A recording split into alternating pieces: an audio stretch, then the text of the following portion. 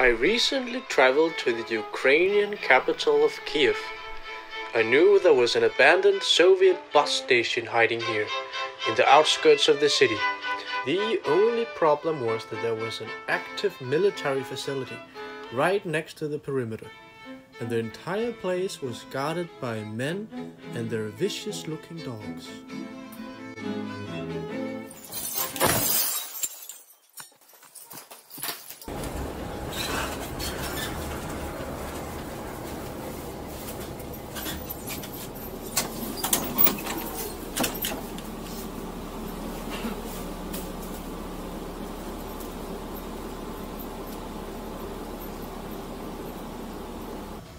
After having received a very intense stare down from the tram conductor lady behind me, I got off at the nearest station and found a place where I could jump over the wall.